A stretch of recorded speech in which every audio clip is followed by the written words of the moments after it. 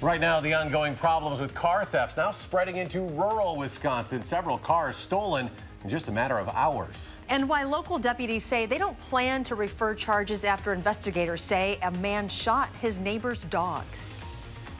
From the Channel3000.com Alert Center, this is News 3 Now at 10. Thanks for joining us tonight. Police in Rock County say they are trying to piece together how five cars were stolen from a rural community in just a matter of hours. Our Adam Duxter spoke to one of the victims and joins us now with what they're saying tonight. Adam? Yeah, well, Eric and Charlotte, while these car thefts in southern Wisconsin are seemingly becoming more and more common, the people in the town of Porter say what happened there earlier this week is anything but. Lewis Hauser admits not much happens near his home in the town of Porter. And aside from the occasional passing car, I would say it's pretty calm. But that calmness changed Thursday morning when he said something of value was taken from him. The dog woke me up. Go outside. Well, then I walked outside, looked over, and it, my truck was gone. Right away, I knew it was probably stolen. Lewis knew his truck was equipped with OnStar, which helped police track it down later that morning, abandoned. But police soon realized so you got these three thefts. This was something more than just one stolen car. We've never had a shift or any particular time frame like this where we um, had so many vehicles stolen. It's completely unique. First time. Captain Jude Maurer says in the matter of a few hours on Thursday morning, cars were taken from West Bullard Road, North Tuttle Road, West Wheeler Road, North Eagle Road, and Coon Island Road.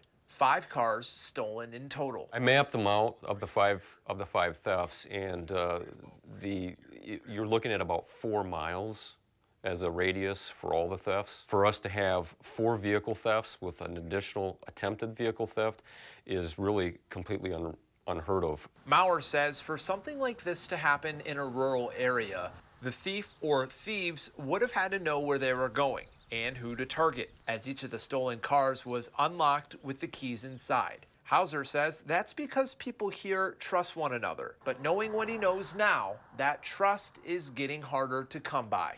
There's will be very few people around this area that I'll trust anymore. It's kind of mind-blowing and it's upsetting for the especially for the area. I mean that's now everybody's going to have to be on guard.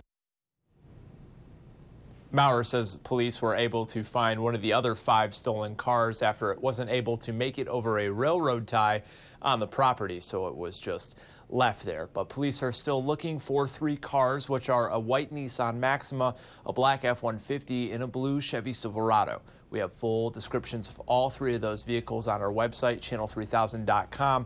But tonight, police are saying if you see any of those three on the road, to give them a call. Adam Duxter live at our Rock County Bureau tonight at the Janesville Gazette. Adam, thank you. A registered child sex offender is being relocated to Milton next week. Richard Isabel was convicted of first degree sexual assault back in 1988 and first degree sexual assault of a child in 1991.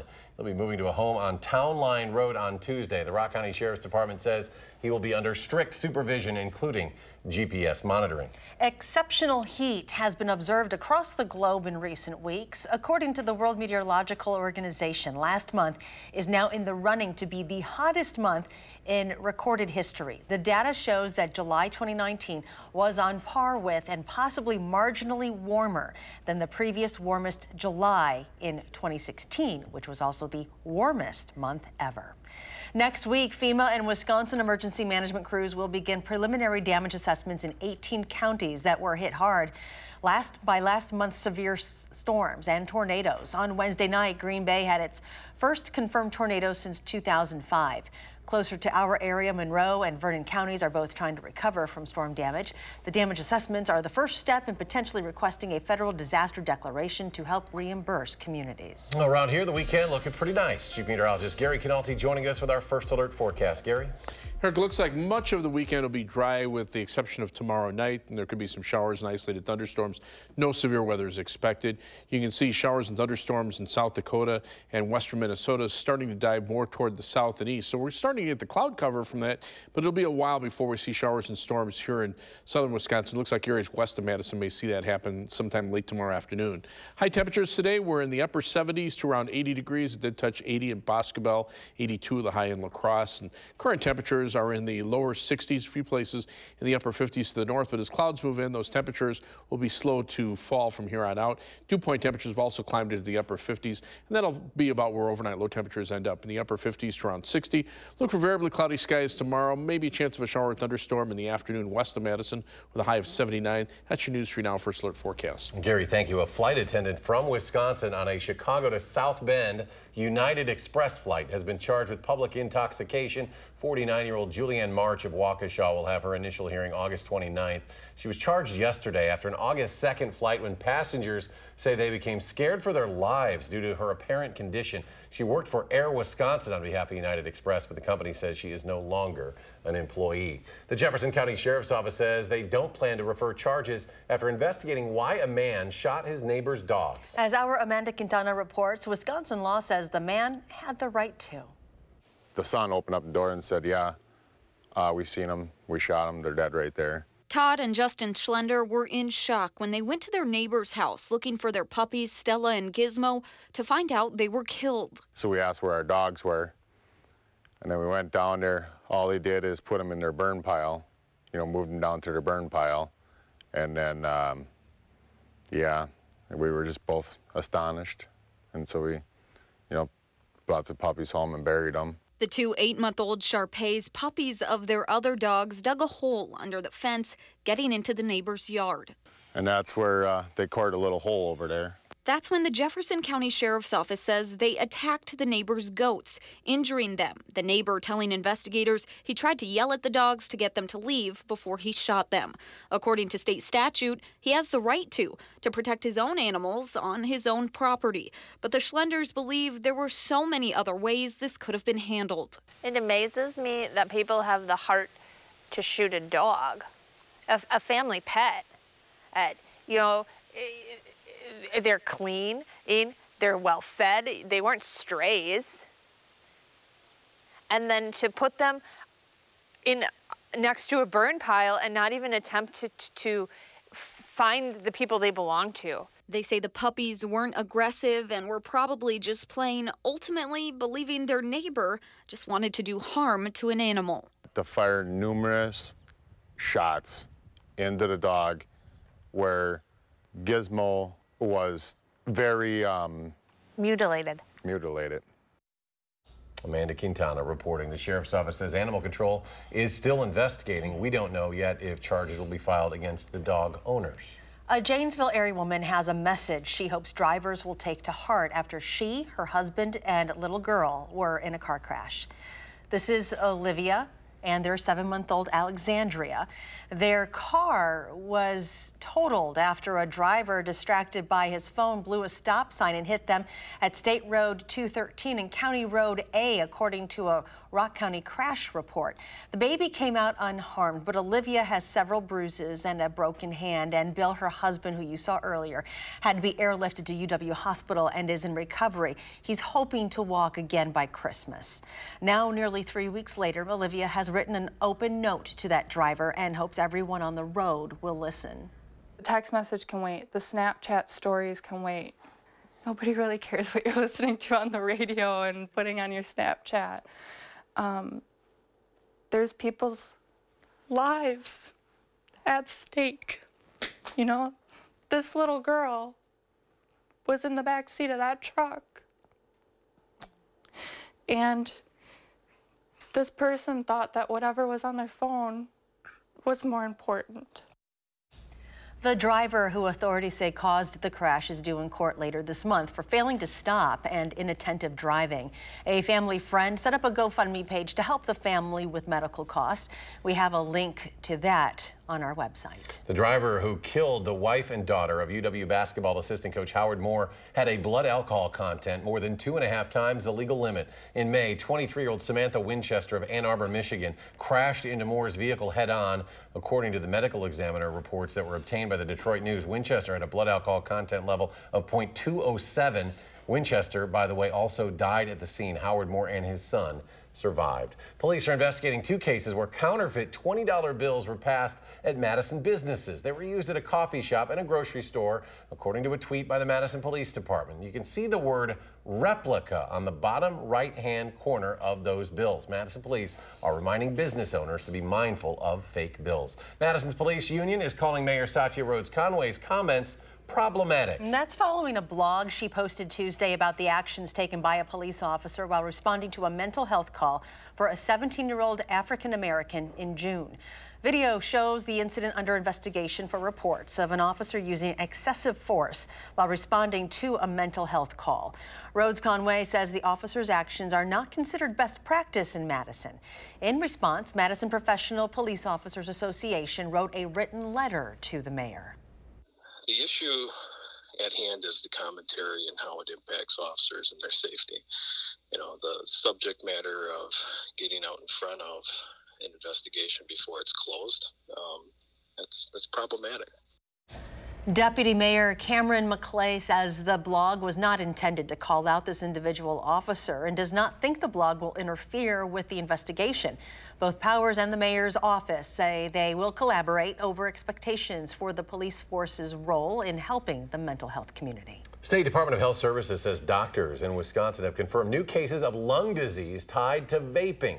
Health officials have now confirmed a total of 12 cases and are investigating 13 others. Those new cases include those who vaped marijuana oils, extracts, or concentrates. Patients with confirmed cases range in age from their teens to 30 years old. Still ahead tonight, Gary will rejoin us with a complete look at our weekend forecast. But first, it has become an annual tradition. Democratic presidential hopefuls descend on Iowa's state fair. Stay with us.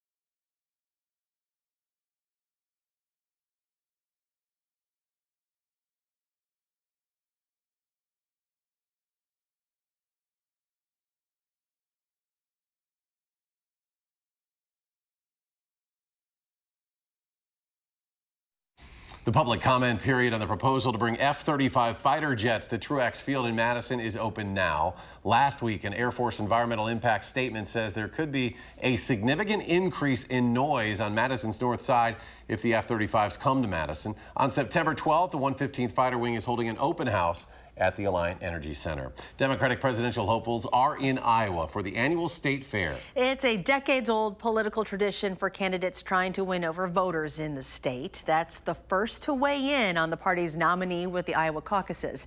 Natalie Brand reports. With the Iowa caucuses less than six months away, candidates are on the ground at the state fair where food, delicious. And I'm not worried about walking away with an empty stomach. Handshakes, and politics are at the top of the menu. We get, you know, all of this that not the other states get. So it, we might as well eat it up while we can. White House hopefuls are taking turns at the mic at the fair's political soapbox. I'm running for president to help wake up America to the real problems that got Donald Trump elected. Trying to sell their ideas. If we're going to be the smartest nation on earth, we need to start with universal pre K for three and four year olds. And pitching their ideals. Our politics need to become more aligned with where we are as people. Your enemy is not your fellow American. We are in this together. Candidates know the stakes are high here. In contested races since 1972, the winner of the Iowa Democratic caucuses has gone on to secure the party's nomination seven out of nine times. The people will make that decision based on that personal contact. They want to have, you know, that tactile. I've, I've touched your hand. I've you know, I've listened to you three, four, five times before I make my decision. On Friday evening, 20 Democratic candidates spoke at the annual Iowa political fundraising event known as the Wingding. There is no such thing as a permanently red state or county or precinct. We are one America. Candidates will be spending the weekend crisscrossing this critical caucus state. Natalie Brand, CBS News, Des Moines, Iowa. Now, nearly all of the Democratic candidates are in Iowa, but former Representative Beto O'Rourke canceled his plans to come there so that he could stay in his hometown of El Paso after last weekend's mass shooting. A U.S. Border Patrol boat patrolling the Rio Grande was shot at early this morning from the riverbank on the Mexican side. Customs and Border Protection says more than 50 rounds were fired and the boat was hit several times, but no one on board was injured. The incident is under investigation. The Camp Fire in California last fall has claimed another life nine months after it happened. The Butte County Sheriff's Office reports a 72 year old man from the city of Paradise died from wounds this week. That man had been hospitalized since the Camp Fire in November of 2018. His death raises the number of people killed in the deadliest fire in California to 86. The father of Michael Brown, who was killed in Ferguson, Missouri five years ago today, has asked for the case to be reopened. What I am here today in front of you all and the world to demand someone to look at the case. His son, who was not armed at the time, was shot by Officer Darren Wilson. A grand jury decided not to indict him. Wilson was also not charged by the U.S. Department of Justice under then President Barack Obama. He resigned from the force in November 2014. Chief Meteorologist Gary Cannalte joins us now with a look at our weekend forecast. Had another nice day today, lots mm -hmm. of sunshine. Tomorrow we'll see a little more in the way of cloudiness and maybe see some rain chances, but the better chances should hold off until tomorrow night. Time lapse from the WISC Skycam. Clear skies for much of the day, just a few clouds popping up in the afternoon, and then the cirrus clouds started to move in from the west and thicken up as we started to head towards sunset, and skies will become mostly cloudy. That'll keep temperatures up a bit tonight compared to yesterday when we saw temperatures in the middle 50s. Live view from the Edgewater Skycam in downtown Madison showing partly cloudy skies. Low this morning did drop to 54 degrees. Our high temperature made it back up to 78, and right now we're at 62 degrees with partly cloudy skies. The air is calm, but with the dew point temperature a little higher at 58 degrees. That's about where our low temperatures will probably end up. Uh, current temperatures are in the 60s to around 70 through Wisconsin, uh, a few 50s up to the north, but the thicker cloud cover out to the west, keeping temperatures in the 60s to the lower to middle 70s. And you can see those clouds starting to come in from the west. They're actually the remnants of some showers and thunderstorms that moved through South Dakota, but now they're starting to become a little more southeastward bound. So the first batch of precipitation will probably stay to our south and west. We could start to see a shower or thunderstorm chance by later tomorrow afternoon for areas west of Madison, and then tomorrow night for just about the entire view viewing area.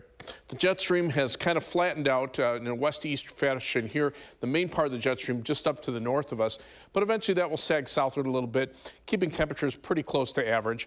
The showers and storms again weakening as they push into drier air across Iowa and Minnesota, where high pressure is located just out to the west of us. That will keep a warm front to our south and west. On the other side of which temperatures are pretty warm this afternoon, upper 80s to the lower 90s, whereas on our side of the front, upper 70s to the lower 80s. Dew point temperatures also uh, are uh, a little bit higher to the south and west. These are current temperatures. You can see 60s here, but still close to 80 because it's so humid out there. Dew point temperatures are in the upper 60s to lower 70s from Nebraska into Kansas, but that air becomes much drier across Wisconsin. So again, another thing that kind of works against these showers and thunderstorms as they push eastward. Now, by tomorrow afternoon, uh, we could see a couple of those make it into southwestern Wisconsin, maybe a little better chance tomorrow night as that weather disturbance passes by. And then on Sunday, look for some breaks in the clouds. High temperatures will probably top out around 80 degrees. A better chance of showers and thunderstorms will be with the next weather system. This approaches from the west on Monday and moves through with a pretty good chance of showers and thunderstorms at some point during the day on Monday. Our forecast for tonight calls for skies to become mostly cloudy. Low temperature will drop off to 59 degrees with light and variable winds. For tomorrow, look for a high temperature of 79 degrees. We'll see variably cloudy skies, a chance for a shower or thunderstorm west of Madison in the afternoon. Pretty slight chance at this point. You can see the clouds moving in from the west overnight. Low temperatures upper 50s. Here come the showers and storms, but again, they weaken as they approach the Mississippi River. But tomorrow night, we'll see a little better chance for showers and storms. Those should move out of here on Sunday morning.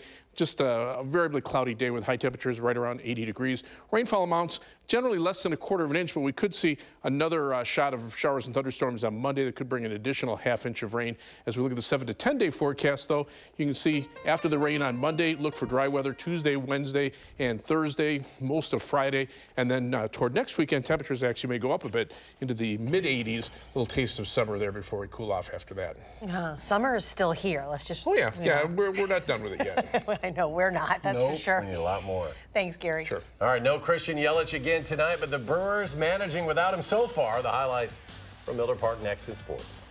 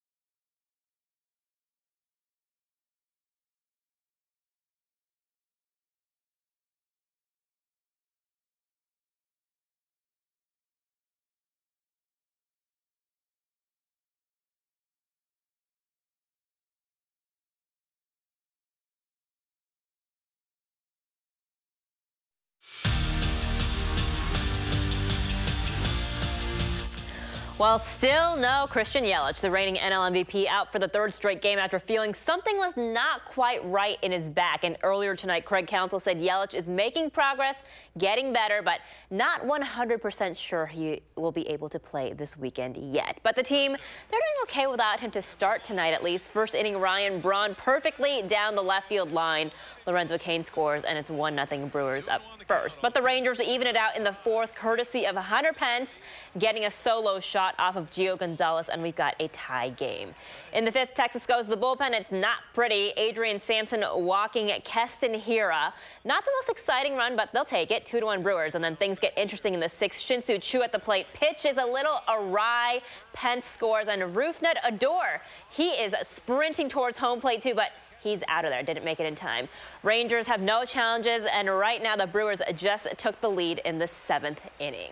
Well, a few things to unpack from the Packers' first preseason game last night. In case you missed it, Green Bay beat Houston 28 to 26 with basically everyone that's a starter sitting out because, well, they've earned their spots on this team. The defense was a bright spot, though. Last season, the Packers forced a total of 15 turnovers, and in the first quarter alone last night, they had three. But also keep in mind that they weren't facing a Texans A squad. But for rookies like first round draft pick Rashan Gary, that was a good way to set the tone for the defense and what standards they expect to meet. Going through this whole thing, um, you know, as a defense, we want to keep the ball, and um, turnovers is big for us. So, you know, that's something that we just got to keep working on and keep striving for, and always focus on the ball, how we've been doing. You know, every play that we out there, we want to make sure it's perfect. But if it's not, you know, move on to the next play and just try to make that one perfect. And I feel like everybody had that mindset, so we don't let, you know, one another get down on each other. It's next play, let's keep moving. And some good news for the Badgers today, especially Zander Neville. The NCAA granting him a sixth year of eligibility so he can play football yet again. The tight end play only played in three games last season because of a right leg injury, and then he tore his ACL in his right knee in practice in October. And then the season before that, in 2017, he tore his ACL in his left knee. So needless to say, staying healthy will be an absolute must, especially because the Badgers are in need of some veteran experience at tight end this year. Finally tonight, 50 Cent, you got some competition for the worst first pitch ever. Before the Rockies-Padres game last night, Bill Walton, he did get a do-over, though. It was a lot better. I suppose that's what you get when you're an NBA Hall of Famer. And he's also a multi-talented guy. It was Grateful Dead night at Petco, and Walton was on stage playing the bongos earlier for Electric Waste Band, a Grateful Dead tribute band, during their pregame concert. We'll be right back.